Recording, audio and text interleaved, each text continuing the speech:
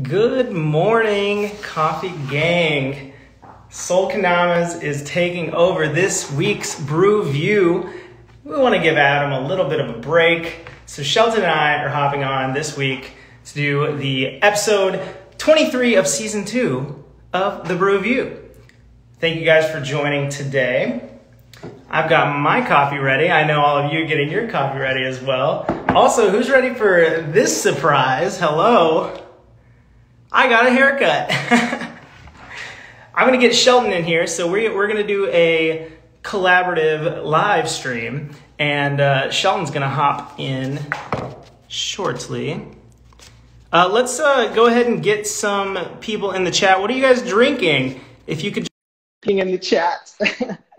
I know, big surprise with the haircut today. I had I had to do the grand reveal on the Brew View. Shelton, how's it going? What's up? Okay, this is a new kind of miracle world for me. I don't know how Adam does it, man. This is interesting. It's it's very impressive. You know, Shelton and I, for those of you who don't know, have ran uh, the podcast, the Sol Coffee House on YouTube. We only did one season, uh, ten episodes. It was a really great run, and we want to continue it. But uh, luckily, Adam has given us that opportunity here. So uh, today we're going to be talking a little bit about uh, collaboration, specifically uh, the Sol Blend, what, what all collaborations we've had a part in and things that uh, we have done. Everyone in the chat right now is talking about my haircut. I, so Shelton, Shelton and I both grew our hair for close to two years. And recently Shelton got a haircut. Um, you know, it's been getting hot out recently. And so uh, it's about time. What do you guys think? Shelton, what do you think? I think you look good. It was about time. yeah, I, I, so I put it in ponytails to donate, and uh, I got 16 inches of hair to donate. So isn't that incredible? yeah. That's like so much. Honestly, I'm kind of surprised it was only 16 because for the longest time I felt like you're you were rocking like three feet, 36 inches. 70s vibes for sure. So, uh, Shelton, do you want to talk about what coffee we're drinking today? Do you. Uh...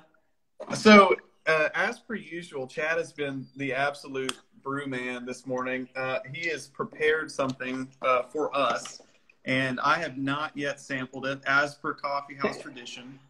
Yeah, so this is this is a tradition of ours. So the first thing, Shelton, you can't get the sniff check because I've got the bag here. I, I will tell you, it, my house still smells like coffee, so we're good there. you get the smells, the, the aromatics in the air. That's so right. we're drinking the Costa Rica. It's a light roast. Shelton, can you give me some some guesses? What Wait, kind of tasting I, notes? Can we can we dink it still? Oh yeah, let's do a little dink. So this is a classic dink, dink it, and then you know, a little sip.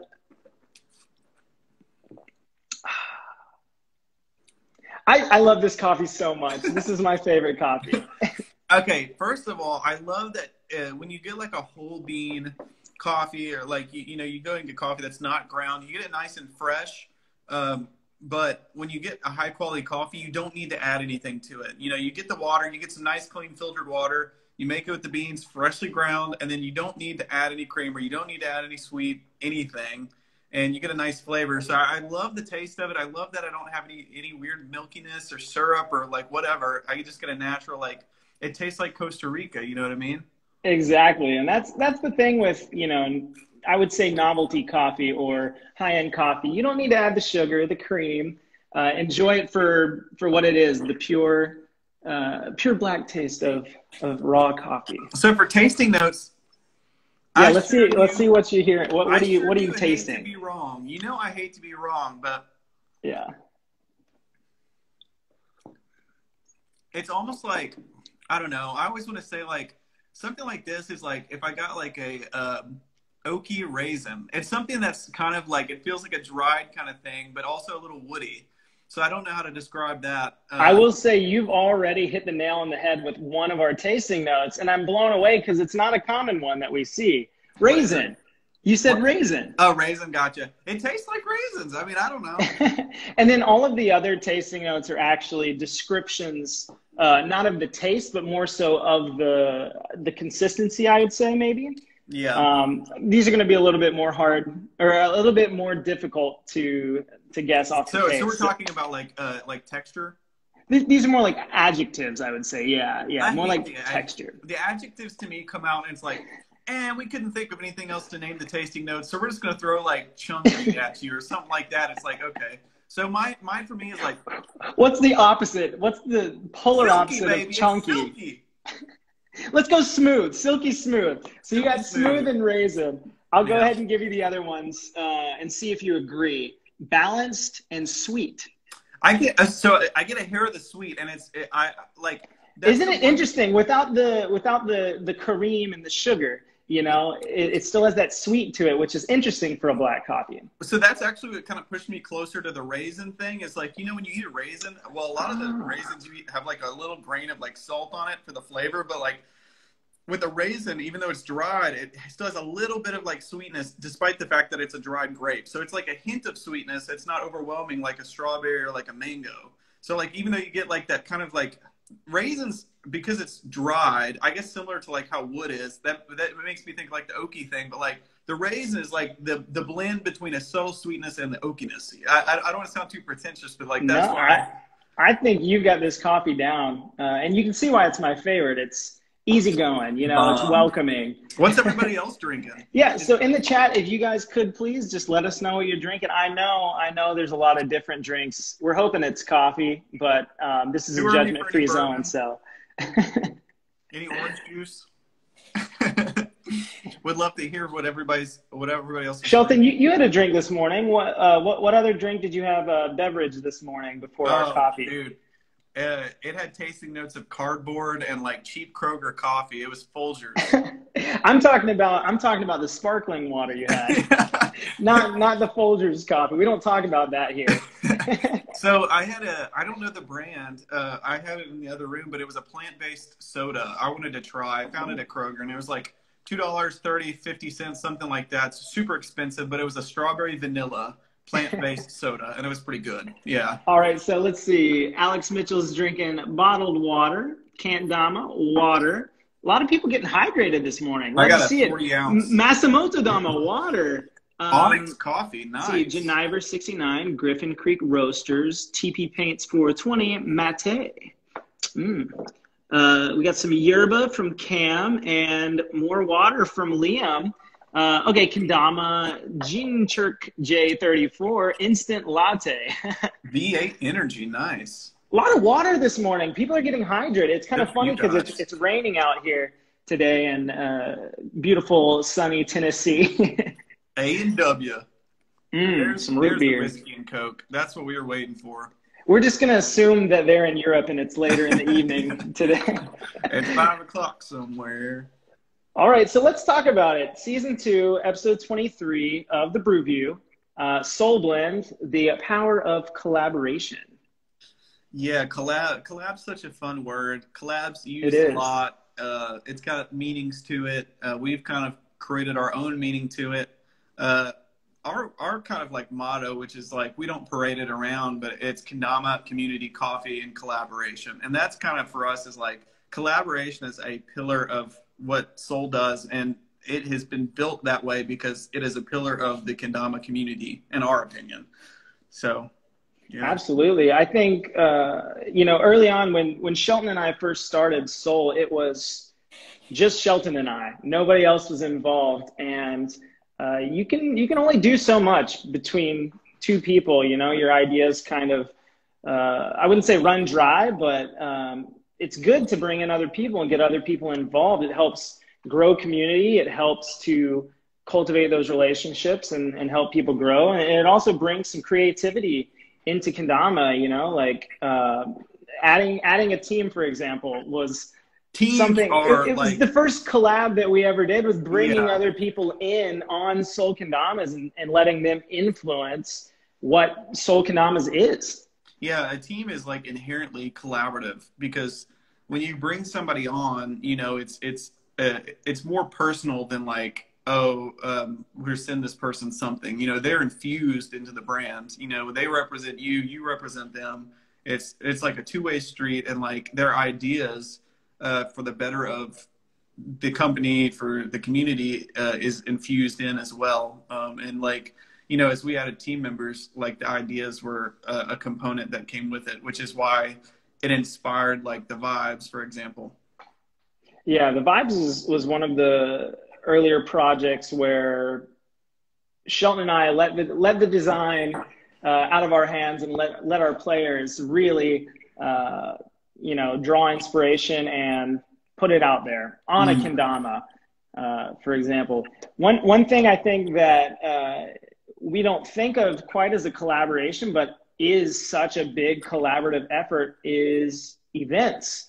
Um, anytime that you get multiple Kendama brands under the same roof, you have people traveling from all different states, countries, um, provinces, you know, to come together and play Kendama. That's a big collaborative effort. And uh, again, it just furthers building that community in kendama that we all love so much. And uh, the thing that really keeps us all playing and interested and in love with this game. Yeah, everybody's chatting about how hot it is. 90 degrees in Chicago all weekend. Man, when we went to Chicago, it was like a breezy, like 65. Oh, dude. Mm.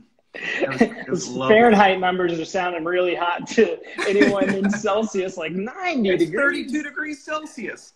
It is, jacket. It is a it is a, hot soul summer this summer for sure. Goodness gracious. I don't understand that desert heat. so, real quick, um, while everyone is listening, uh, as you know, there's a questions tab at the bottom. If you would like to leave Shelton and I any questions about Sol, about personal life, about uh, our favorite non coffee drinks, colors, feel free to leave questions and you can leave as many as you like. We'll go through them somewhere along the middle of this episode and then at the end of the episode as well. Um, Come to Africa. I would love to visit Africa sometime. I would like to as well. I bet it's really hot out there. I play a fair amount of GeoGuessr, and it's fun to try to when you land in Africa and you kind of know. Uh, I haven't had enough experience to be able to pin it down exactly, so it's fun to kind of explore. And I've learned a lot more about Africa in the past month than I've known before just playing GeoGuessr. That's amazing. Where, where is somewhere you'd like to travel that you've seen on GeoGuessr? Like the craziest place you're like, oh wow, that's beautiful. I want to go there. So, so it's me and a friend have been doing uh, one back and forth. They have the daily challenge, and it's uh, it's like a uni- it's like a worldwide event where everybody comes in, they get the same map, and you have to all guess, and then there's a leaderboard. And so every day, my friend and I have gotten on, and we've done the daily challenge. And he did it yesterday before me, and then I came in behind him and did it, and he was watching me do it while I did it. So I landed in one, and I looked around, and I was like, I, I see goats. It's kind of like an arid environment. Uh, it, it was kind of a road that had seen uh, quite a bit of driving on it. And I was like, man, we're in Mongolia, man. And I, I didn't say anything or whatever. And I was kind of looking around. I settled in Kazakhstan, but sure enough, it was smack in Mongolia. I would be sick to uh, to go visit Mongolia just for the views. It's so cool looking. What I would like, I'd like to, I'd like to travel to all the main coffee growers across the world. Oh, yeah, we always we always talk about like Mexican coffee, Costa Rican coffee, Ethiopia, Sumatra. It's like to go and see where the coffee is grown and to try it there. Like that's probably peak freshness. That's that's the perfect coffee with with some dirt still on it. Then you're really get yeah. notes. Imagine grown, roasted, uh, ground, and then brewed all in the same place. That would be amazing. Be like, uh, Chilean worm is a tasting note. You're that close to the ground. Yeah, like an actual worm in the coffee. Mm-hmm. So let's talk a little bit more about collaboration.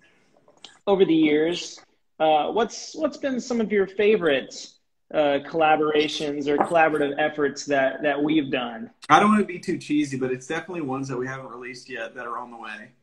And you, you know of it. I can't talk about it, but and I'm not promoting anything, but like the collabs that are the future of for us are some of the ones I've been most excited about. I feel like the the, the fun thing is when you get uh, someone new in uh, into the, your circle for collaborating, you are challenged in a different way because they don't know your restrictions or what you perceive are restrictions. So like in your head, you know, like when we had the vibes, uh, the team was free to rock and roll, right? But like we were kind of like this is generally what we're looking for. Like we want tracking, we want blah blah blah blah blah. And then like you know, solid colors. Yeah, but immediately Kevin comes in and he's like slice of paradise, and it's like, does that fit the tracking requirement? You know what I mean? But it's like it's a fresh idea, not bound by your restraints. And so like I, I would I would have never come up with that idea. That was just something that you and I couldn't have done on our own. Exactly. Whenever and so for example, where we had not previously done something like that, that was something that was bound by restraint. And then when we accomplished it, it suddenly was within the world of what's possible. And so next time someone came with an idea, they were wanting to be more creative, which meant outside the bounds of what's possible. So they didn't come at us with like, "Hey, let's do the slice of paradise," but you know, they came at us with like, "Hey, let's try something like this." And then we're like, "Okay, how can we make that work?" And so like some of the new collabs is kind of like that, where it's like, "Okay, this is a challenge to solve."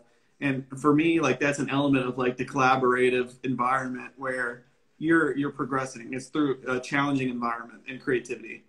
Yeah, and I'd say, I mean, if you were to say, you know, the first collab we did was your favorite, obviously you want to you want each one to be a little better. You know, you, you want to improve on everything. Man.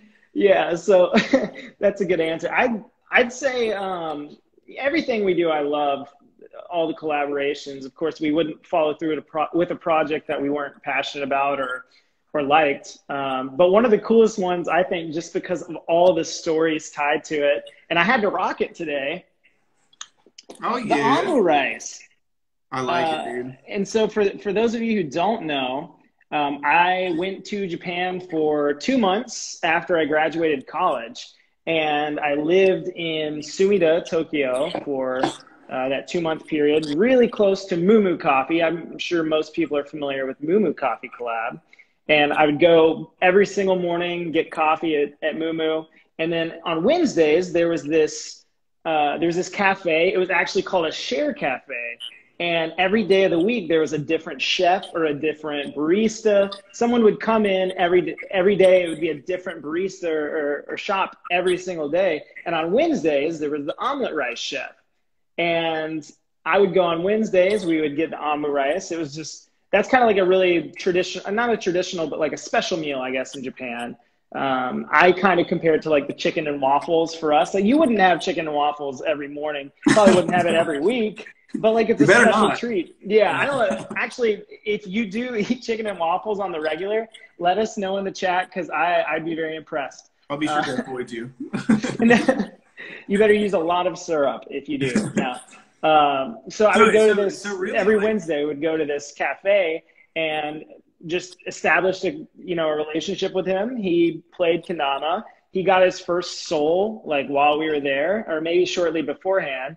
Um, and he just fell in love with Sol, and, and we became really good friends. And he approached me and said, "I want to make an omelet rice kendama." And I was like, "What is that going to look like?" I, you know, like how do you? And, and he he came up with this design, and he literally wrote omelet rice around the ball. And I'm I'm thinking like I would never do that. And then I showed Shelton, and Shelton's like, "I love it. Oh, Let's dude, do it." Obsessed. Like the first get the little day, ketchup like... on the top, and then the the green Sol is supposed to resemble like uh, garnish, garnish, the green garnish, and then the white's like a plate. it, it, was mm. really well thought out, but oh, that it. collaboration is just so unique in in the way that it kind of came together, and. Well, for him, you yeah. know, it was, it was kind of interesting because, like, for him in the space in which he's working, it's a collaborative environment. Because, you know, the success, so, you know, you can go on Wednesdays to get an omelet rice, but, yes. you know, it's like on Tuesdays there's something on, but the, the building itself is built by the group of chefs. You know, it's, it's literally it's, a collaboration cafe. Yeah, and so for him, it was just so natural to just extend that into like, hey, what else is kind of a world in which omelet rice can exist? And you know, yeah. it's like okay, maybe a kendama. And I saw that, and I was like, it, it to me, just seeing it, it, I I I heard like explosions in the sky. I saw fireworks and light bulbs go off. You know, I just got like him, his shop, what it meant, everything, just looking at the design. And so it was just like, I don't know, it felt so natural to see that as a collab with yeah. us. You know? Yeah, that's really exciting outside of Kendama, can you think of any collaborative efforts? I have one. Um, I'll, I'll, start. Uh, it's kind of ironic because it's also the title of this episode, Sol Blend. Uh, that's a collaboration, and uh, I worked at a coffee shop for two years before I went. The two years like leading up to that Japan trip, um, I worked at a coffee shop and I was barista. Learned you know everything about good quality coffee, making coffee and the coffee shop owned a roaster. And when we left, or, when I left and pursued Sol Kendamas full time after college, I I was like, man, I love this coffee shop so much. I love all the employees. I love every customer that comes in every single day gets the same order. The 86 year old man who has his own mug underneath the shelf, and I know to put two ice cubes in his coffee when he orders. Uh, and I was like, well, what can we do to continue this relationship, even though I'm leaving? And I was like, oh, let me ask if they would allow us to make our own blend through their roaster. And when I asked, they was like, yes. How soon can we do it? I'm like, mm. let's create a label and then make it next week. And sure enough, that's how the Sol Blend came along. And now we stock all their coffees on our website. And that's, again, it's one of those pillars of Sol, you know, coffee, kendama, community, collaboration. And I, I just, that, that one is really cool. Just ties, ties it all together.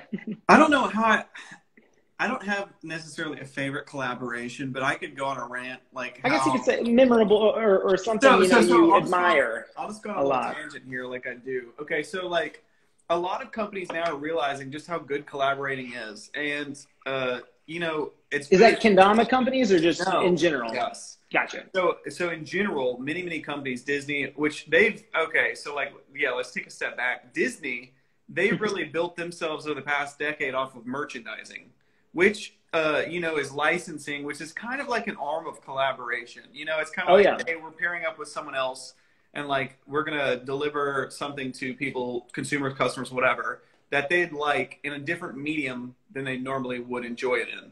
So like you see a movie and you you love Star Wars, you think it's sick.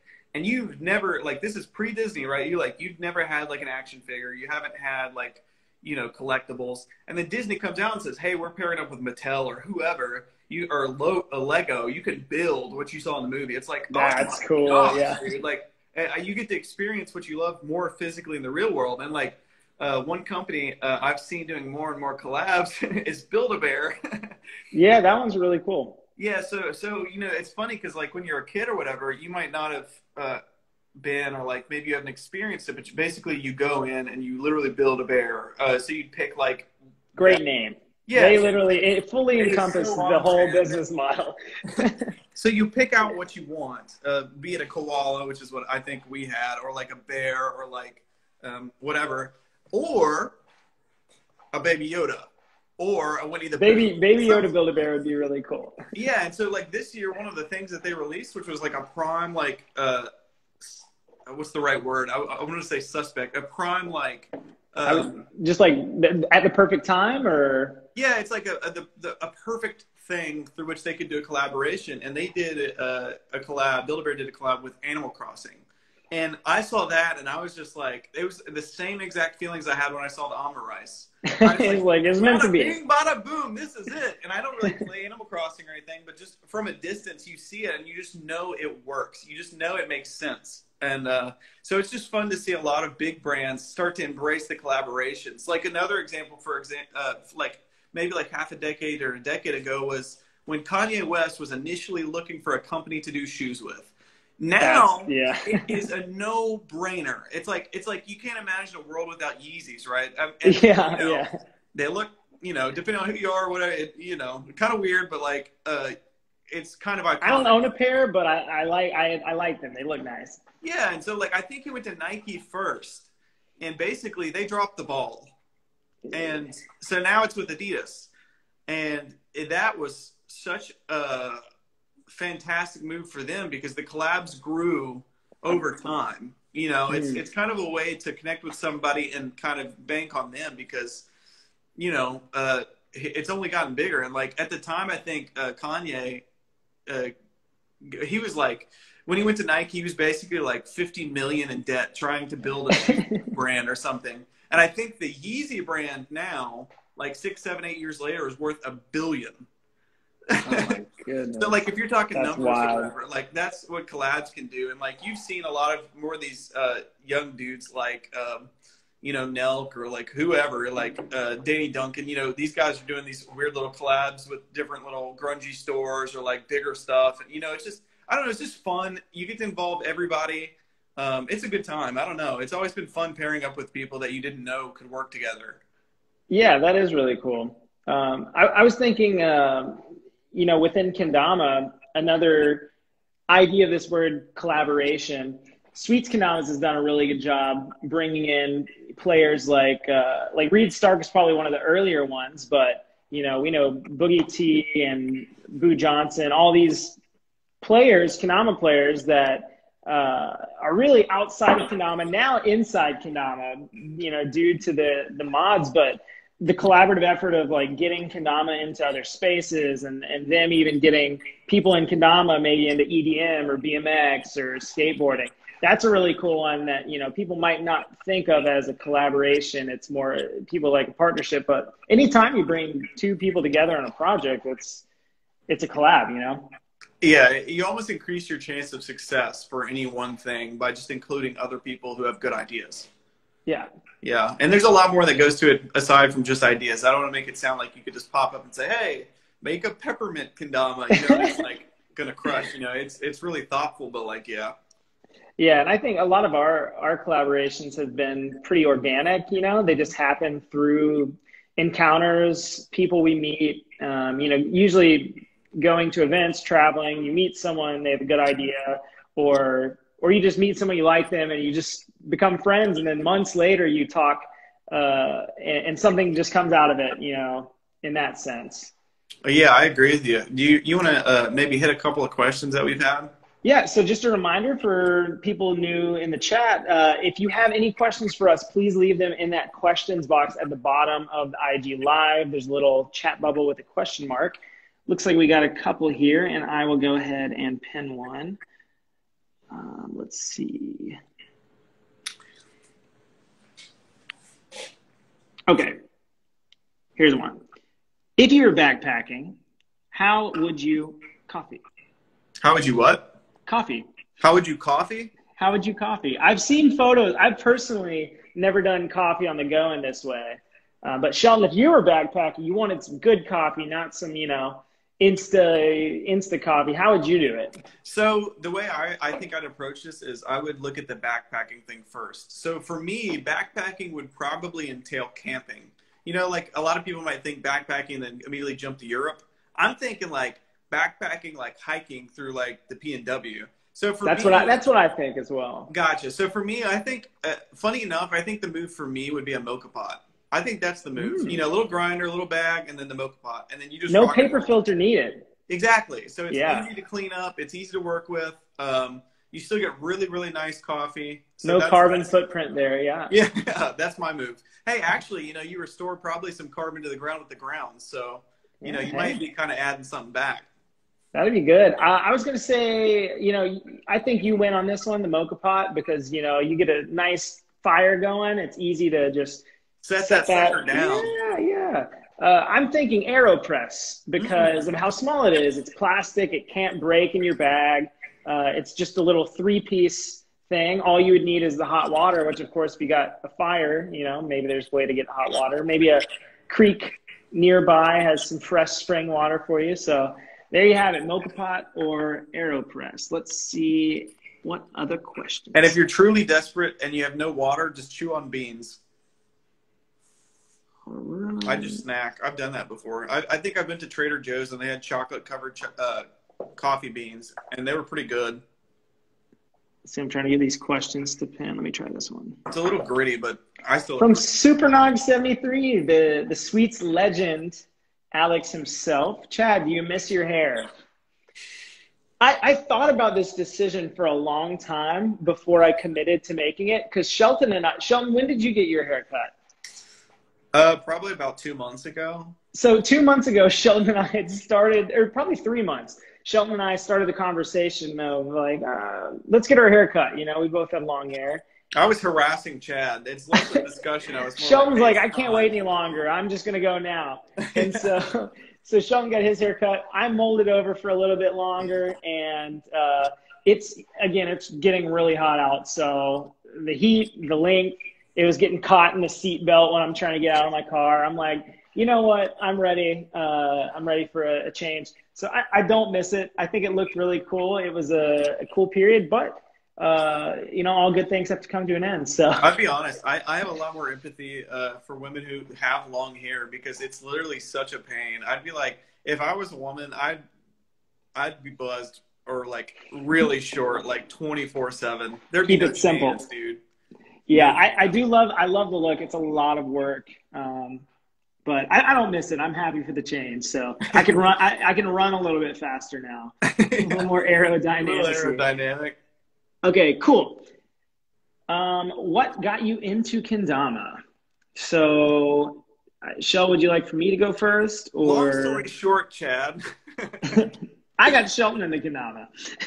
we lived together. We actually we lived together. You know, obviously we were brothers, so we we grew up together. But uh, going to college, you know, we lived together for four years, and so that's kind of when Sol started when we were living together, and uh, just got inspired, you know, to make kendamas. But I I started playing in 2010. I was on the soccer team. I was a freshman in high school, and there was a senior on the team, Tyler Marshall. He was like all star p- player. Like the coach, if all was going bad, was like give the ball to Tyler, he'll score.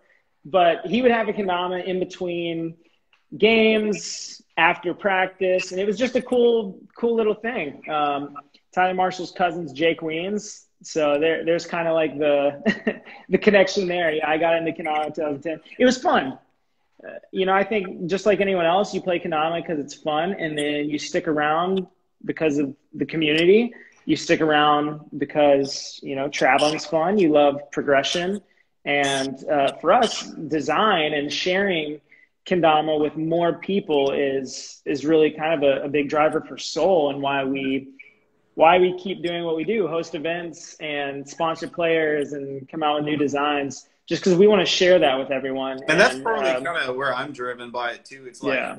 you know, I, I, find so much joy in just like making a better kendama or like hosting a better event or, you know, making better edits. You know, I find a lot of joy in that. And so whenever I see, I get involved with the community and you, it's like uh, the engagement, you know, back and forth kind of, it's like a little dance, you know, where you make something and the people respond and then you, you know, you fix it and you go back and forth over and over. It's just fun to be engaged on that level.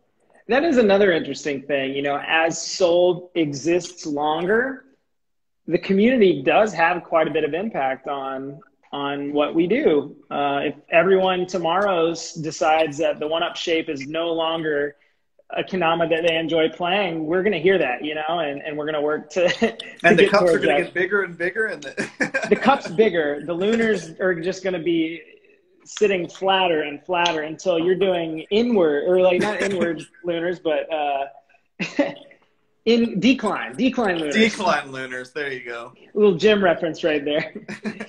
but uh, yeah, that, yeah, that's what got me into kendama. I thought it was cool. Um, made some friends playing kendama, enjoyed the growth, and wanted to share that with more people. So let's pop another question. Whoops, I accidentally hit one. We're just gonna. Oh, that's the same one. Okay, never mind. Man, Adam, this is quite the intricate process here. I, ooh, okay, Shelton. There's a lot of questions that are like more aimed towards me. So I'm gonna do this one, and then we're gonna answer a Chad one. Not a question. I just love Shelton. Ah, gotcha. Kalodama, shout out Kalodama. Okay, this next one. Let's see. I'll answer a Chad question. Like Chad, as if I'm Chad. Ready? Okay, Shelton, you're going to answer this one. Mhm. When did you start going vegan? From, oh, Andreas. I joked about it for three years. Every single day I was with my family, we'd say, "Where do you want to eat?" And you go, "I don't know. I'm vegan." so I think this is all true. I was tired of joking and I committed to it. I said, "Hey, I'm not going to eat ice cream if I can't eat ice cream, so I'm going to go vegan." And I've been vegan for two years. Spot on. That Shelton was answering it. That was third person Chad right there. that was Brad. Spot on. Yeah. I guess, you know, more accurately plant based, but, uh, you know, vegan it is. I'm not that cool. Let's see. Okay, this is a cool answer or question. Shelton, can you answer this? What's a Sol kendama? Like, I never heard of it. I only have sweets and KROM. So, what is Sol? Break it down for What is uh, Anthony. so- So, a Sol kendama, that's such a fun question. It's funny, like the longer you go on, sorry. The longer, the Did you spill your coffee? No, I, I knocked off a, a, a remote for my thing. Okay, as long as you didn't spill your coffee.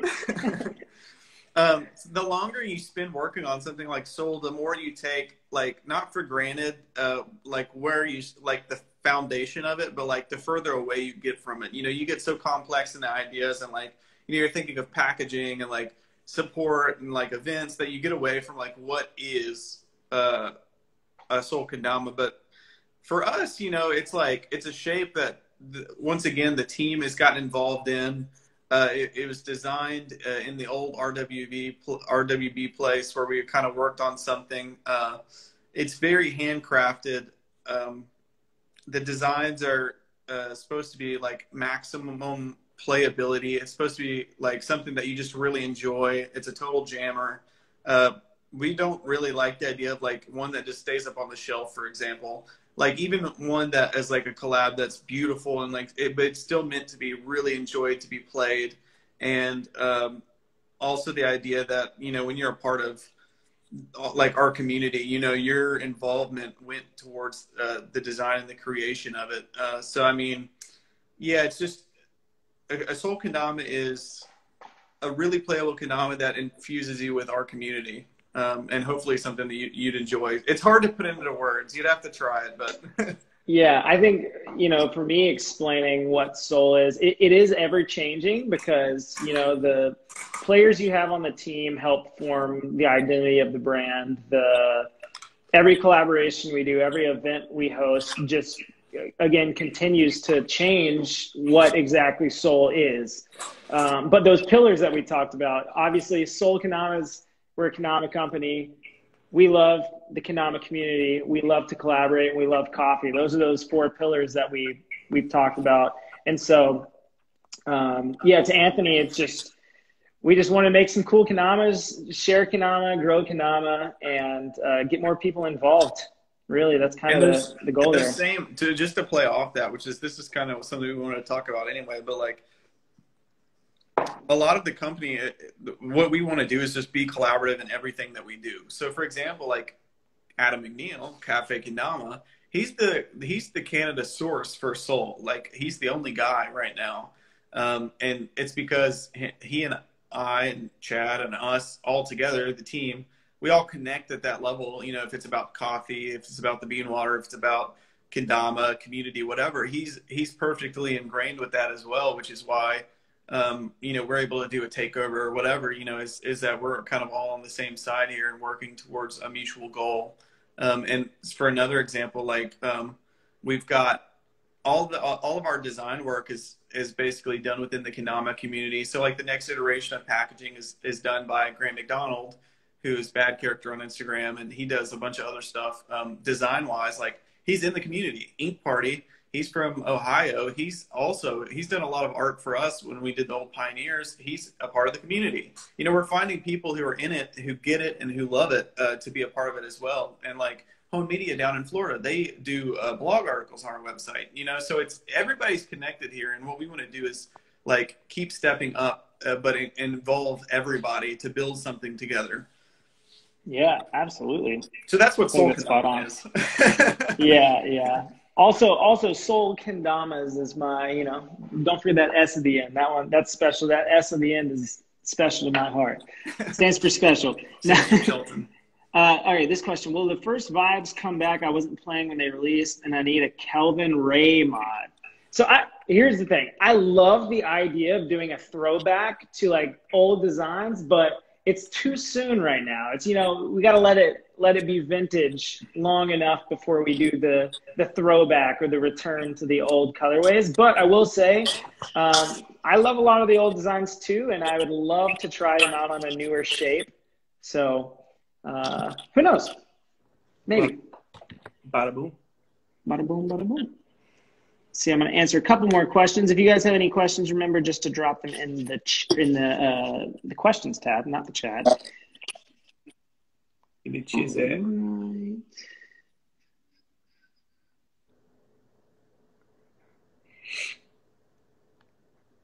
All right, we'll see if this one can apply to Shelton. what was the latest Dama you purchased? So not obviously not one from Sol, but have you ever purchased a Kendama, Shelton? Um, let me think. I think I did. Um, I'm trying to think. I, it, what's funny is like you know when you go to events and like you're surrounded by other people uh, who do kendama and like have companies and stuff like that. They just want to give it to you. They want to share like their work with you. That's true. So I've got like a, a, a crap ton of kendamas that were just gifted. You know. Um, yeah. Shout out to Okinawas in the chat. That one's show that one real quick. This one's so beautiful because it was made in Latvia. It's another example of you know work or whatever, but like. Uh, I'm gonna have. I, I am trying to think. I'm really itching to, to, to think of it, but I, there was one that I was wanting to actually buy that I was thinking about, but I haven't done yet, and it was uh, Azura's uh, Olympic 2021. Oh, that one's really cool. I thought it's funny cool too because we're 2021 now. I know. I thought it'd be cool and memorable, so I might actually end up, you know, going for it. But I don't think I've bought one yet. Yeah, I'm trying to think. My last purchase. I think yours was um, uh, ZB Mags, maybe, or like uh, it was somebody's pro mod, I think. We, we did an exchange, Zach and I, um, for a Bosch mod. it works most of the time. That's cl- yeah, most mostly it's exchanges. I mean, that that was an exchange. That was the most recent pickup of mine, the the, the Mags mod. But my last purchase was a cushion cleared Josh Grove mod. Okay, that's what it was. I love the mountains, the trees. It just like speaks to my soul and. uh yeah, I, when you see a kendama like that and you've got a good friend who you want to support, you can't help but buy it. You got what, I will say, so Shelton, you said one that you'd like to buy is that Olympics. One that I would like to buy that I haven't yet is the Ben Harold uh, 2. It's just one of those kendamas like in stock, sold out, very, you know. Yeah, so I'm like, uh, the time will happen. I don't know when, but that's that's on my list. It'll probably be an exchange thing for sure. I, I, I hope so. That way, I need to exchange a couple kendamas for that one. I'd put money on that, that it's an exchange. Cool. All right, Shell, I'm going to answer one more question, and then if uh, we move on to more discussion. Chris Fraser, 10 years slaps. Indeedy, indeedy. I always appreciate uh, Christian Fraser's creativity. He's another guy who he he's so my favorite thing about Christian is that he is an architect by trade, which uh, is an interesting combination of infusing like engineer like um, design with an artist's creativity. So he gets that mashup of like he's highly technical, but also explores you know the mystery of the world. And so like he'll come with ideas to us or to other people, or we hear different things, and we're like, you know what, that's pretty interesting. yeah, he really kind of pushes it, and he's very thoughtful. So I, I like that about Christian. Yeah, and we worked with him as well to like help make Lyndon's mod and Alex's mod as well. Um, all right, so last question. This one is, I think, a topic a lot of people don't really know the answer to, or maybe there's been like a little bit of confusion. So maybe I figured this is a good time to just kind of cover the basis and, and talk about it a little bit. So uh, it says, I miss getting a thank you from Chad when I buy a Sol. Why did you switch to a fulfillment company? Shelton, would you like to talk a little bit about like like the early process of that? What made us even yeah, consider? Long. Well, it's like right, yeah. that's just me and Chad, you know. And you look at other brands and stuff, and they're cemented in a place. You know, you look at Sweets, and, and they're in Minneapolis, and and Sweets has built a life there, and Gabe's built a life there, and all the guys there have built a life there, and and they're pretty comfortable with where they're at, and they've got you know a, a, a means of putting their roots in the ground, and then bringing in people to to work there. And and Chad and I are both kind of still in like this weird like floating in space kind of thing where it's like eh, i don't know where we're landing yet. You know chad's in the talks right now of, of moving and uh, he's kind of exploring the ideas and alex mitchell is around here somewhere uh, just waiting to go with them and so when a company is like not rooted you know you're an rv rolling down the highway waiting to find where you're going to go you can't you know run a, a store out of the rv you know? And so when chad's kind of figuring out where he wants to be and and you know as i figure out where I, what i want to do and stuff like that you still need to be able to let the, the business breathe and, and move like this you know and so you need somebody who's got the roots somewhere. And right now, that's yeah. Grapevine, Texas, and so they've got the kendamas um, that we're we're we've worked on with the team in the community. And uh, their thing is they get it out. You know that that's what they want to focus on. And so they're sending stuff for us. And um, a downside of that is that we can't hand weigh and personalize. It's it's a little bit less personalized on the the delivery side of things. And so what we're doing is over the next so many months and stuff like that, we're working to create a more personalized experience uh, that also allows the flexibility uh, of that kind of free movement kind of thing. And so it, it's kind of like one of those things where uh, you're at a point where you know, like, you have to take the good with the bad. And we know what the bad is, and we're working to make it much more good than bad. and not that it's bad really now, but like, you know, it's just different. And so everybody's kind of feeling a little bit of the difference. But, you know, in a year's time, I have a strong, strong feeling, very strong feeling that it's going to be about a thousand times better than we could have imagined uh, for everybody. It's going to be fast. It's going to be very accurate. Drops are going to be seamless. You're going to, you know, you're going to hit That's a drop. you're going to hit a drop like the Sulab drop, and everybody's going to have their damas within a week, and you're and we're all going to be going happen. You know, where you think back to like last November, it was two weeks before we were mailing some of the some of the vibes when they dropped because it was just it was overwhelming. and so yeah, uh, it's been a it's been a growing thing for us. It's been like you know different little pains here and there, but like um, I have a, a strong feeling, you know, within a half year or something, it's going to be a, a world of a difference, and everybody's going to have better service and support and everything that you didn't think was possible because it wasn't us touching it. So that's my long answer. Yeah, I guess I can to piggyback off of all of that. Um, the I love I love packing orders as well, and writing those notes was literally a staple of every part of my day. And so, a lot of things have changed on my day to day, but our attention and our focus has shifted to what can we do to make things better. And right now, uh, our attention and focus is not on just shipping the kendamas, but like making that experience more personalized. And also, uh, we're going to be doing a little bit more uh, content. You know, YouTube's going to ramp up real big this summer. Our goal is to to focus more on creating those, you know, videos and things, interactive things with you all, and things uh, that we can't talk about yet, but you will see the fruition of. And uh, just know that it's a temporary thing and we are moving and growing. So it's an exciting and good change word. i should say. Yeah.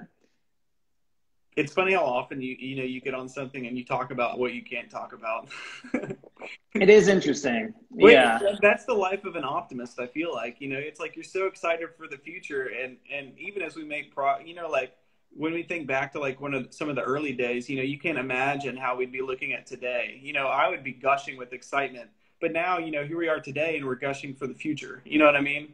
So it's just it's just part of the, how it works, you know. Yeah, I'm looking forward to it. I I think uh, one of my favorite things in Kendama is creating videos.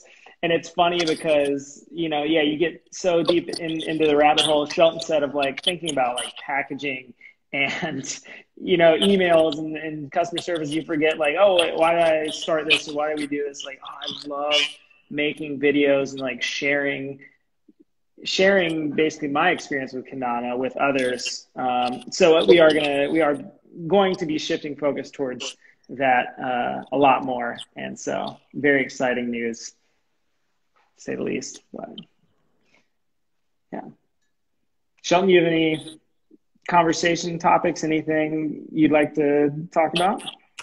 Um, to do with Kendama or what? Yeah. Um, well, so lately, I don't know, uh, you probably, I don't know how you feel about going down this rabbit hole, but like, uh, the more time I spend on NFTs, the more excited I get about like how it can interact with Kendama. That's the thing for me is like, this is another place where passion comes out is like, you, you see things that are happening in the world. And like, the first thought I have is like, oh, how can this work with Kendama? you know and so like oh yeah you know the more i look at nfts and stuff like that and if you don't know what that is it's a non-fungible token it's basically like the way people are describing it now is like it's a digital trading card except a lot of times now what people are starting to do is they're infusing them and building them into other things um, so for example uh, just so i can put this out there as an idea um, I what I would like to do is like for the next bout at the border, uh, we create um, so many NFTs that are like a, a, 2021 or like maybe it's not a time bound kind of thing. It's like a bow at the border NFT. Um, and there's you know so many that are collectible. So like you know if you're into that kind of thing and you want to collect an element that represents like your life in Kendama and you want to keep it in your little uh, digital wallet or hardware wallet or whatever, um, it would be something that would improve your life at the event as well. So like uh, as an example, let's say we have like um, you know so many common uh, you know thinking in terms of trading cards, you have so many commons. You know in Yu-Gi-Oh, you've got your hollows or Pokemon, you got your hollow cards. Uh, you've got like more rare cards, you got common cards. So the same typically applies in NFTs.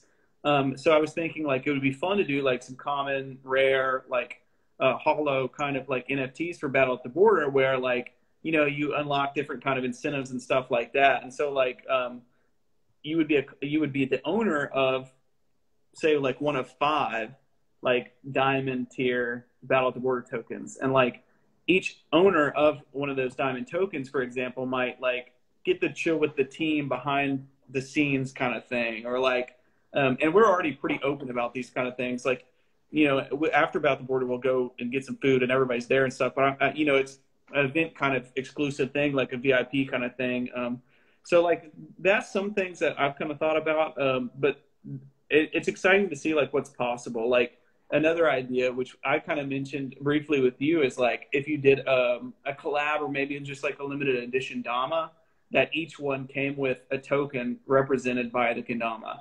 So like, say it's a 3D model of the Kendama, or like say it's like um, some art associated with the design or something like that that you become the owner of, and like on the drop, you would be the owner of that token. And then you know, like let's say you wanted to trade the Kendama or you wanted to trade the token, you've still got one other element from the collab, or maybe you do trade them both. It just makes it more fun for those who like to collect and trade. Um, so those are a couple ideas I've had, and like if anybody's thought about NFTs or something like that, it'd be fun to just chat about it, see what you're thinking. But like, um, I don't know. It's it's another one of those things where you're excited for the future, and you're like, well, heck, what is possible? What can we do with this thing? You know, so yeah. kind of figuring it out. But that's what I've been thinking about lately.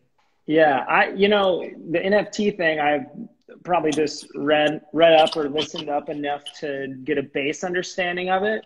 Um, but what I can say is I am hosting Battle at the Border, and so who knows? You know, like whatever ways we can intertwine your ideas and my ideas, we can make something really cool happen. I on the on the subject of events and Battle at the Border, I do want to go ahead and just put this out there. As of now, Shelton and I are definitely planning on hosting Battle at the Border in Nashville, January uh, 2022, which is crazy to say that, right? Um, I'm so excited. I know uh, recently Josh Kim did the Revive the Vibe tour, and it's funny because like the name of the tour, you know, Revive the Vibe. It really felt so refreshing to be playing Kendama with other people, to see faces I haven't seen in a year and a half, and uh, you know, just again a nice refresher reminding me why we play Kendama and why community is so important because we've gone without it for so long and so I'm just excited to get back into events because that's again that's one of my favorite things about Kendama. If I like if if today like all I had to worry about was Sol Kendamas, I think uh, what I would be doing is doing like two events a month all over the country for like two years straight.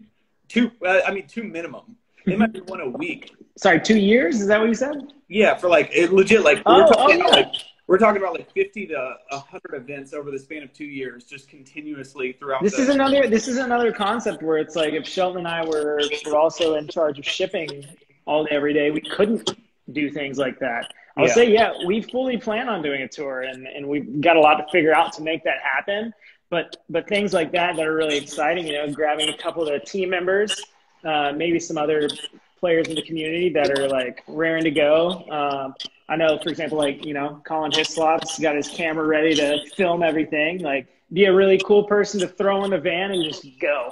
and uh, so things like things like that are going to be really exciting. Glad that we can continue to do those because those also have such a big impact on Kendama, the growth of Kendama, and uh, I'm very looking forward to tours. What? So okay, tour stops because we're we're in a vehicle in the USA. Name like I don't want to say top three, but like three cities that you'd like to go to, and three cities that you think would be just awesome stops for a Kendama tour nationwide.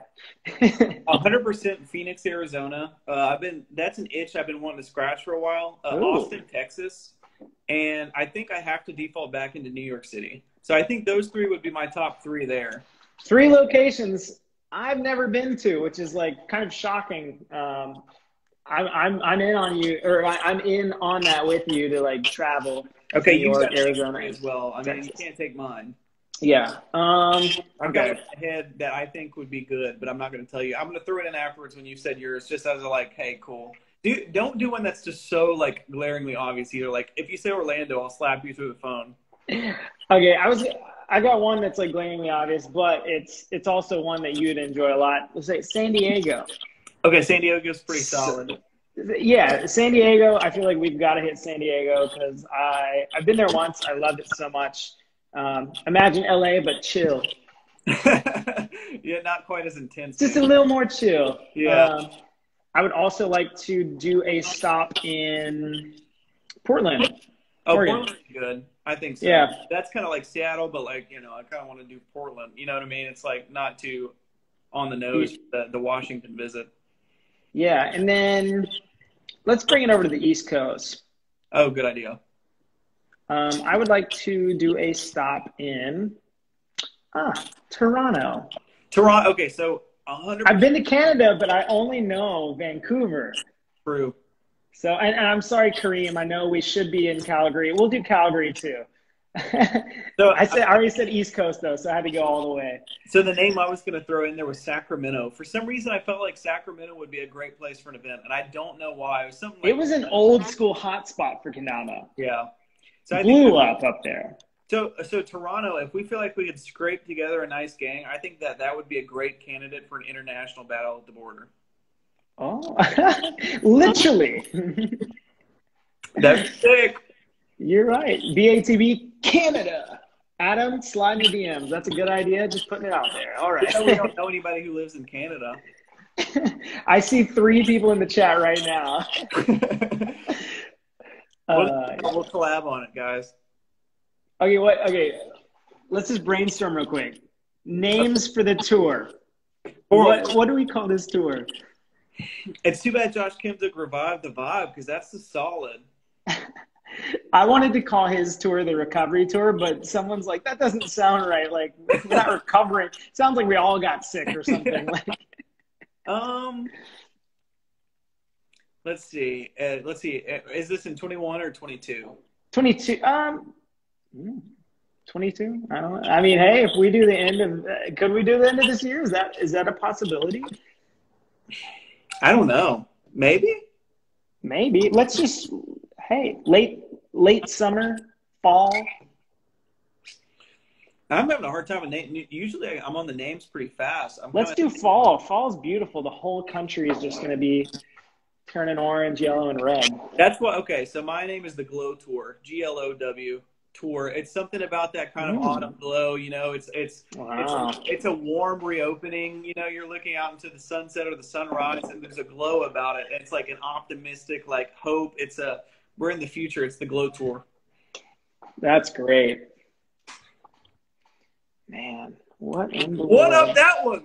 Come on, man. I kind of, I'm. I feel like I was going too cheesy, thinking like east to west tour because that's not quite. It doesn't quite encompass us. It's more about that's more about the actual stretch of the, The tour. trip. But, um, let's see. I'm gonna read read some of the comments because these are people are dropping in the chat. What do you guys think? Tour names. That's a great question, Chad. You have plenty of time to think about. it. Soul on wheels and just that's another just cheesy. I better stop trying to come up with ideas because those aren't great. Next thing you know, it's going to be a picture of like an RV, and it's like Thomas for wheels. It's just the most like. Tom is on the go now. Uh, yeah, so yeah, I'll think about that. You need, I need a hundred bad ideas to come up with a good idea. So I feel I feel that you just put it in the meat grinder, and just until you get something good. Yeah, for the Soul Tour, that one's cool. Soul to Sunset Tour. Bro, my chat is. oh, I don't the Battle why. Across Borders. That one, that's good. The battle of the cross borders. No, Battle Across Borders. Because Oh, you're just going over every single state, going into Canada. DATB battle across the borders. The Soul Spread. Bro, why Like- my chat is frozen? I don't know why. oh, I'm sorry. Sometimes Instagram, the vibe. doing that. Killing the vibe. What is this? Oh, what the? Oh, you got a filter. That's beautiful. Dude, I'm such a boomer right now. I'm just trying to fix the chat, and I've turned black and white. Should we answer a couple more questions? If you guys are new in the chat, go ahead and uh, drop some more questions down there in the chat bubble. It's all you, bro. I'm frozen. Oh, really? Anything else you want to talk about, Shelton, on this beautiful Sunday evening or afternoon? Let's see. What's um? Let's see. Hmm. Talk about this mug. So Alex Mitchell gave this to me. Uh, it wasn't even a birthday gift or any special occasion. He just gave me this mug, and it's a bunch of just really cool photos of like the vibes. Looks like all pictures you took. I think so. Yeah. Uh, yeah. It's cool. Yeah. My other mug. So I, I made two cups of coffee for myself. This Oh, is I- a I. GT Tariba coffee collab mug. I got an idea. Crazy. Okay, so let me pitch you an idea. So we've got uh, we're gonna start the tour like say southeast, like Orlando or whatever. And you go to the west coast, you go across to the North Pacific Northwest, hit the Vancouver, you go back across the Midwest, end in Toronto, and it's like a, say like a cafe, it's a coffee, it's a Sol tour, and we call it the mug tour. And each place, whoever brings the coolest mug to the event wins something. And then by the time you're done, you've just got a pile of like a bunch of mugs. the mug tour. That that's something else, man. I That's something else. I don't know what to think about that. You got my mind running in a million different directions. I just it was just a way for me to get a bunch of cool mugs, I guess. oh, you we get to keep the mugs. Yeah, yeah, yeah. No, we keep them. Yeah, yeah. that might be separate from the kendama tour. That might just be a, a coffee tour. Skip all the trouble and just have people send us mugs. That's hilarious.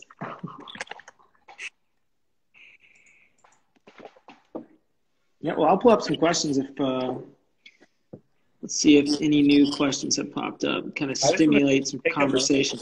I'm gonna take a moment while you do that to appreciate Adam for letting us come on and just raid the raid the stream. This has been such a fun pleasure. I've really enjoyed it. I've enjoyed everybody coming in and leaving comments. It'll be fun. I'm gonna be watching to see who leaves comments later. I want to hear about the mug tour. the mug tour. Uh, so this question: Do you think KWC 2021? Um, I think it'll be online, from what I've heard. Um, if not, maybe a hybrid event where Japanese players can locally get together and do events. But I think um, you know, for international players, it'll definitely be online. Mm.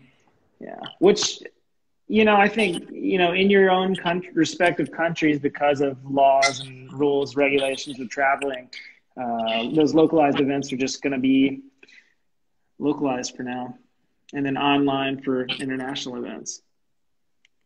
Japan's gonna be. I've been am, ambitious for to go to Japan for like two years and just have As soon as soon as Japan is open, Shelton, you and I are going because I I cannot wait.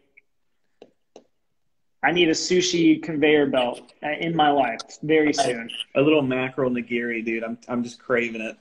Yeah. Uh, okay, question from O Kanamas. Ash or maple? I'm going maple. It's durable, fairly priced, beautiful grain. It's a lighter wood, so I, it I, can be paired with other I would woods be nicely. I would be Ash to be contrarian. I actually will say I think I prefer the Ash Tama anyway. I think the Ash I uh, Maple Ken Ash Tama because the the Maple Ken is just it's too solid, but like an Ash Tama, the grain on it, the width between the grains and stuff like that, Beautiful. so much beauty, and it's just like you got to have it. So I mean, that's my pick. Is I I know uh, Eurus hates the the mixing of the woods, but like Maple Ken Ash tama is the way to do it, man. Yeah, I do like that combo. I think Ash tamas just looks so beautiful, especially with a clear paint over it. Let's see.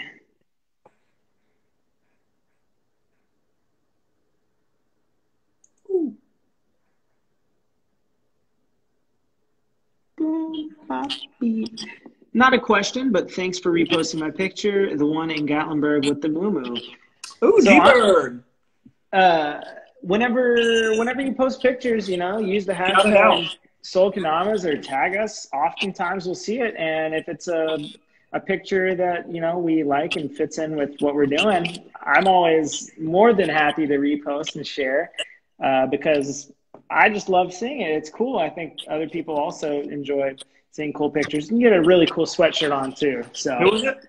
that definitely helped. Uh, Mokidama, Mokidama, Mokidama. Mokidama. In Gatlinburg's a Gatlinburg. beautiful place. I think it's kind of love underrated. You need to make sure. Uh, I'm not telling you, but for everybody Yeah. else, if you're coming to visit like Gatlinburg or, or the Smoke uh, Smokies, Yeah, Great Uh, Smoky Mountains. avoid Pigeon Forge.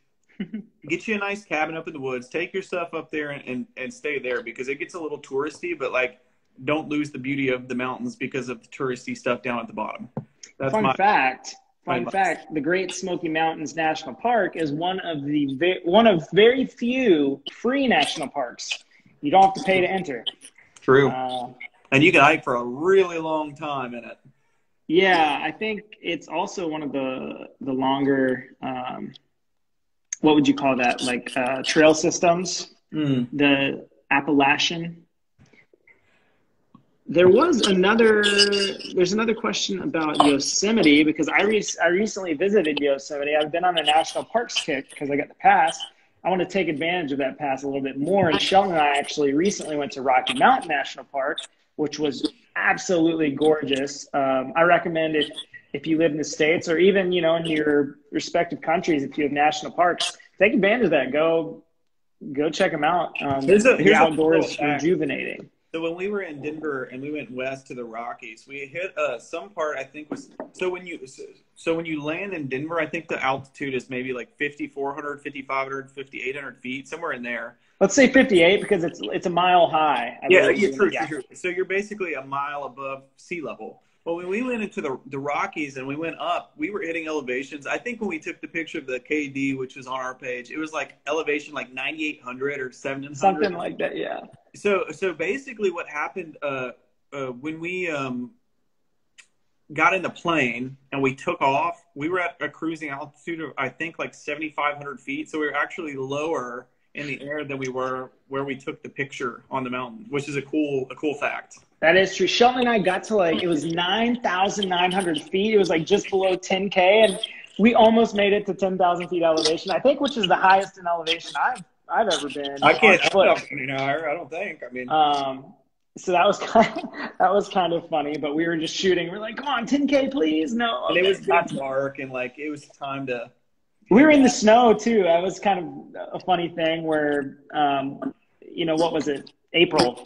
it was like still 70 snow. degrees in denver and then you go up in the rockies and it's like I think we got sunburnt the day before, maybe, and then just straight to snow, which was, i was cool. sunburned in snow yeah So, favorite part of Yosemite, Yosemite Valley uh, has a lot of different, like, very distinct rock uh, structures, and each one has a trail that you can climb up. And so, I was only there for two days, and I did two different trails. My favorite one that I saw, which I know there's so many more that I haven't got to do yet, was the Upper Yosemite Falls, the Upper Yosemite Falls Trail.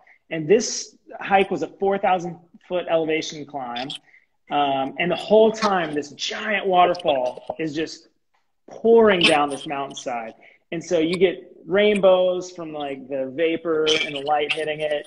Um, you get like this very cooling effect, but then like most of the trail is kind of exposed to the sunlight. So it's like you get to experience a lot of different environments. It feels like, you know, ecosystems, I guess, as you're moving up this mountain. And then get to the, the peak of Yosemite Falls. And then I was looking across and I see these really small, I mean, small people because they were far away. Uh, and I asked someone, I was like, hey, how far do you think the hike is? And they're like, oh, it's only a 20 minute hike up there. And it was like an additional 600 foot climb. I was like, told my friend with me, I was like, let's go, let's do it. And so we did it. And then it, it was uh, Yosemite Point. And this was like one of the highest points in the valley. And so it was just cool overlooking the whole valley, looking back at, there was probably like five 500 to a 1,000 people that stopped at the falls and didn't go to the point, and like maybe 10 people up at the point. And so I think getting up to that point, um, it took something like five or six hours to get to the top from the very bottom, 4,000 feet of elevation climb. And yeah, we stopped, took a lot of pictures, snacked on the way up, but just the the vastness of you know getting to that peak and looking down is incredible. So I would say Upper Yosemite Falls Trail up to Yosemite Point was my favorite part of Yosemite. Mm. Yeah, that's a dream visit for me as well. I will say I've heard a lot about Banff National Park in Canada. I've heard it is just absolutely beautiful. Also, Glacier National Park in Montana and uh, Zion, Yellowstone, so many that I have to check off my list. So I hope hope I can get those eventually uh, checked off because I'm a geek. I'm a geek for national parks now. um, yeah, I, I think uh, so. Peaches, Peaches in Korean says, "When are you going to come through to Canada?" I, I, as soon as the two week, the two week, uh, what is that? The quarantine is over. I'm ready to come up and travel. I, I'm come, I'm ready to come visit. That two weeks is just brutal. Sitting in a hotel room for two weeks waiting, but uh, as soon as it's open, you know I'm coming coming to the brew battle. Going to visit Adam and Kareem, all those Calgary homies. Yeah. Let me see if there's any more questions.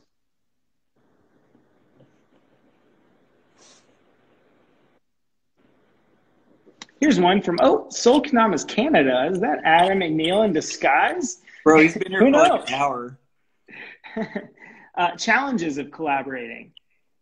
Shelton, can you think of any challenges we've had? Uh, I guess historically, maybe any at all. I think the challenges come with. Um, let me see if I can be thoughtful about this answer. The most easiest way to answer this is the challenges come in the design, which is kind of like talking about how stretching out what you think is your boundaries to be something else. Um, other challenges for collaborations is I think um, something less obvious might be understanding the nuances of each brand. So like you know when you go from like like let's say for example, and I'll say this because I know that it's uh, it was one that was easy to incorporate. So like find your wings you know, you know what the brand is, and you might picture somebody who's like super into it, like into the brand, and you might picture someone who's super into Sol. And if you put those two people next to each other, you know, would they look alike? Would they be wearing the same shoes? Would they like speak the same way? You know, you start to think about someone's community or someone who believes in a brand. You know, they they kind of share a certain level of values and stuff like that. And so, uh, one challenge is there are maybe a lot of opportunities to collab, but saying yes or no to it uh, because it's so much more complicated than just the product, you know, or just the marketing or just the storytelling. It's like you have to be able to have both your communities handshake, you know, or they have to be able to hang out together. They have to be able to feel like they're both represented under the collaboration. Because if one community doesn't feel like they're maybe uh, aligned with the, the one you want to collab with, they are ostracized. It's actually the opposite of a collab. You're isolating them because you're saying, hey, we share these values. And if you don't share those values, you're now conflicting with your community base. So I think that that would be a big challenge is like you can't say yes to everybody either. You also have to be thoughtful about who you are even collabing with. That was very spot on. I agree. And a lot of other things, you know, like we collaborate with a lot of international brands and, and individuals. And so, ironically, some, you know, just a little bit of uh, communicational things where maybe lost in translation or one one club that we have upcoming uh, we actually had a translator who was helping communicate all the again the nuances of the designs and the the rollout and the release and everything. And uh, it's exciting and it's it's cool it's refreshing it gets you out of your comfort zone. And uh, that's another thing you know if we didn't seek collaboration and, and working with other people you'd never come across those challenges. Facts. Facts. All right let me see. There's a couple more good questions uh, I figure we'll just cover this one really quickly because we can also kind of tie in that last question into this. Uh, when will the Sulab Sol collab drop? So this is this is Oh one that we've had God, so many challenges with because it's a time it's a, a huge time thing. It's it involves a lot of uh, again those like it's an international collab, so there's a lot of translating and, and things of that sort. Um, it's also a very expensive and time consuming thing, and so it's it's just taking uh, way longer than we anticipated. Um, I don't have a date because there, you know, it's End of May. in November. No. Alex Mitchell says I'm currently stringing them. So uh, everybody There- Alex. every, yeah, give Alex a pat on the back. Don't DM him asking for one because uh, yeah, maybe three weeks from now. But I've been saying three weeks for months now, so I'm not I'm not sure. But yeah, well, I mean. Chad, teased it again because in the picture where he's congratulating Alex Mitchell on his graduation, he's literally in there stringing him up. he was just working. So, uh, yeah, yeah. Long story short, it's yeah, the, all the complications behind getting this rolled out. It's it's a long, long time. So, uh, eventually, It'll be worth it. a hundred percent.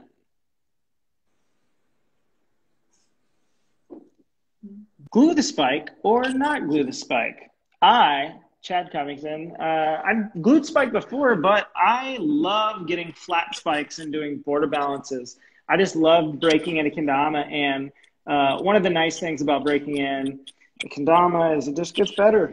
And if you ever need to uh, refresh in your setup, you can just throw a new tama on, or sorry, throw a new pin on your beat tama, and you got stalls out the gate, but you don't lose the precision of the spike. So I say no glue.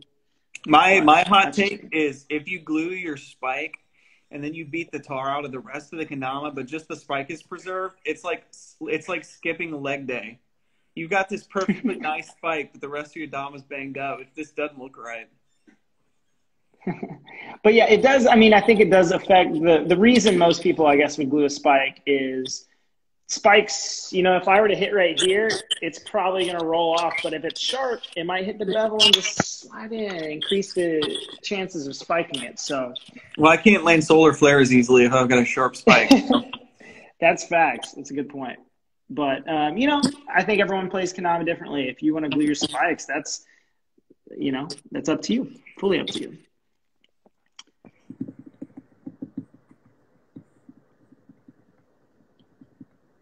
Hey, Adam. Hi, Adam. Loose spike, because eventually it flattens anyways, and I blaze through dom is so fast already. Yeah, I could see that. That would be the one like defense is like, yeah, sharp spike. It, it does feel good. I'll be honest, it really does. I mean, a fresh spike is just a thing of beauty. But Absolutely. yeah, Next question: What is Sol's dream collab? Um, back in the day it was round two, I suppose. I think uh, That's that's actually crazy to say because it's like, oh, I'd love to do this, Oh. and then I've got one. it happens. Okay, so my dream collab is National Geographic. Nat Geo collab. That's cool. That's so cool. Um, let me think. Dream collab. I mean, I think any kendama owner uh, in the prime of Supreme drops would have said Supreme would be the coolest collab just because, uh, you know, very simple branding, just that red bar Supreme text font on the Tama. Nice clean one. But now I think uh, Supreme's not as hype. I don't know. Um, I think it'd be really cool to do a collab like uh, Nike collab or I got another one. or like uh, like Patagonia. Imagine one of the like fleece patterns on a kendama. I, so I'm gonna go. I'm gonna go Nike Patagonia. That'd be a really cool collab. Yeah, I like that. I got another one. I've been following these guys for a long time. Um, Pantone, the the company that does all the colors. Do they have? Wait, real quick. Do they have competitors? Because I've never heard of another I think they're kind of like Adobe, like Photoshop, like Adobe Suite. It's kind of like they're just dominant because if they do it right, and like it kind of just is, you know. So mm-hmm. I think mine would be. I think Pantone collab would be sick. I think would be like a line of kendamas, or maybe like I don't know something wild, wild. But like that one would be Nat Geo, and then Pantone would be a, just a one-two punch that would be out of this world. Nike, Nike, and Patagonia. By the way, I haven't made any efforts towards getting a Patagonia or Nike collab, so who knows?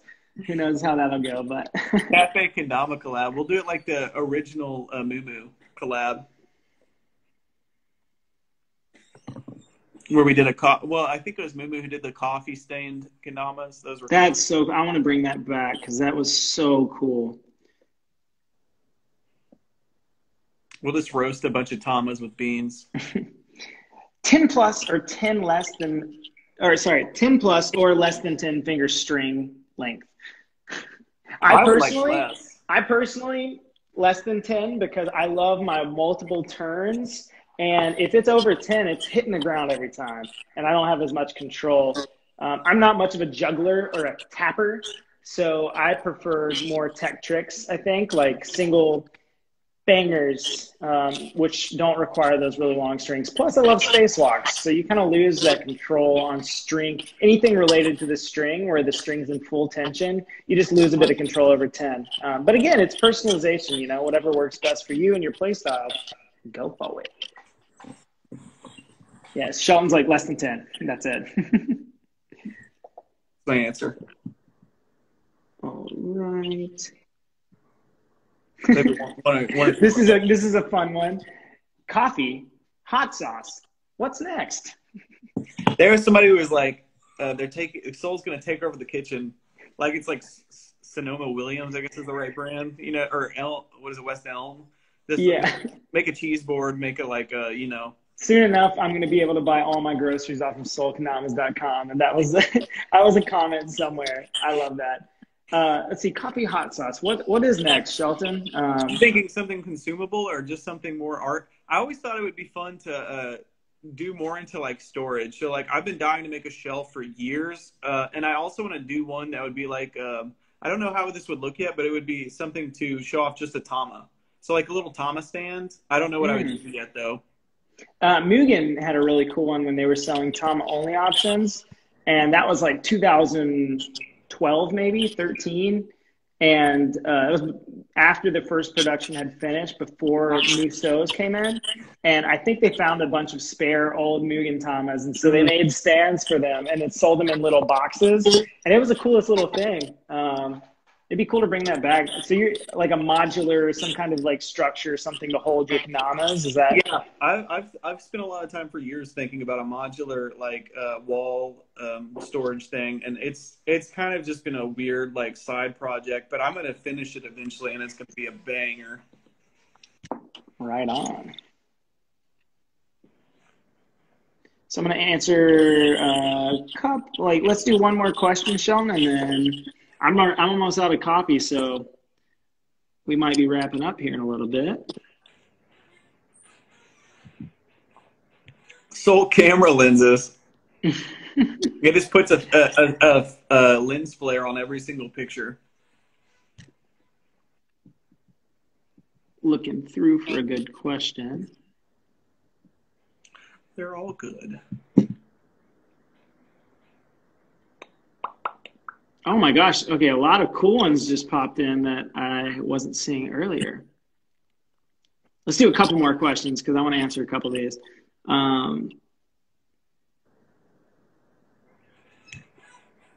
so we, I talked about this in my earlier episode of review, and we've also covered it on Sol Coffee House as well. But question is: Is there a certain skill requirement to be flow or pro? Uh, my quick response is yes and no. because uh, you, you, also you have to be i guess deep enough in kendama to understand um, certain nuances. And to be on a team and represent a company you have to play kendama long enough to understand kendama.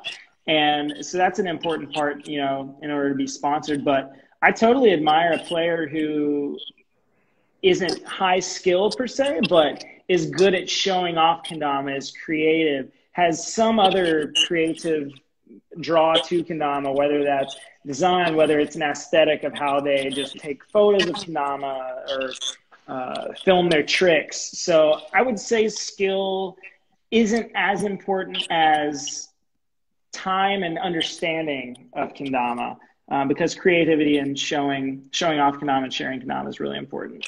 My answer for that is, uh, well, we did a good coffee house episode on this, and we talk for like a legit like an hour and twenty minutes about it. But like, I think the long and short of it is, um, basically, if people like are interested, intrigued, or entertained by you, uh, you would be good to be fit on a team as long as you fit their culture. Um, so like you know if you're if you've got something going for you, like uh, oh who's that guy? So the other day someone somebody on the team sent me him.